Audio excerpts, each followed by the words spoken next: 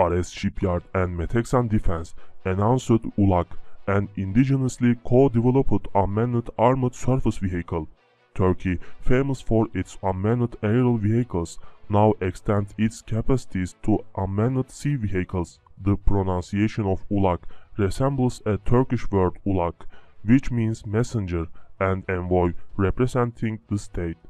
ULAQ, which is made of advanced composite materials, have length of 11 meters, a maximum speed of 65 kilometers and a range of 400 kilometers. The vehicle will have a day and night camera, navigation and surveillance radars, a locally developed encrypted communication infrastructure as well as telescopic antennas and active and passive stabilization system for the weapon and sensors. The initial version of the vehicle will be armed with two L-UMTAS and four Cirit missiles, both of which are produced by Roketsan, the leading missile producer of Turkey. The vehicle will be equipped with other payloads, including ECM systems as needed, announced in a press conference at Ankara on 28 of October.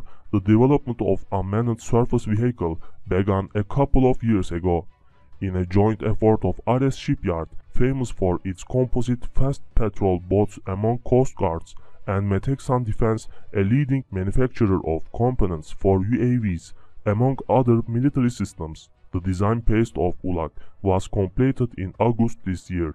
The vehicle, which is fitting out as of now, will start sea trials in December. The first weapon test is scheduled for the first quarter of 2021.